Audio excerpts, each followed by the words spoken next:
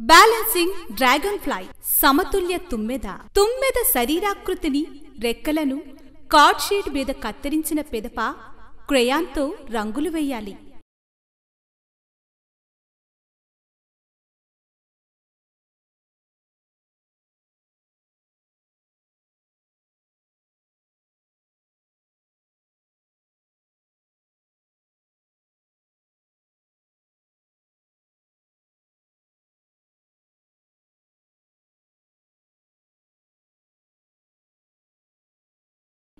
రెక్కలను జిగురుతో శరీరానికి అతికించవలెను. తల మరియు కన్నులు మాత్రమే ముందుకుండేలా చూడాలి.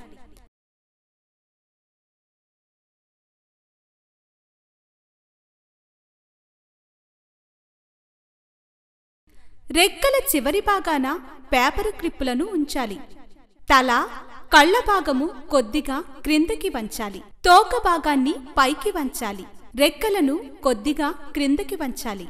ఈ విధంగా చేయడం వలన దాని బరువు అన్ని వైపులకు సమానంగా పంచబడును. ఇప్పుడు తుమ్మెద ముక్కు భాగాన్ని వ్రేలి మీద బ్యాలెన్సు చేయించి చిన్నగా కదిలించినచో వ్రేలి మీద నిలబడిన తుమ్మెద వలయాకారముగా తిరుగుచూ నాట్యం చేయగలదు. నీటి సీసాను పెన్ను స్టాండుగా చేసి ఈ తుమ్మెదను ఉంచి తోకను మీటినచో అది వలయాకారముగా తిరుగుతూ కొంత సమయం నాట్యం చేయగలదు.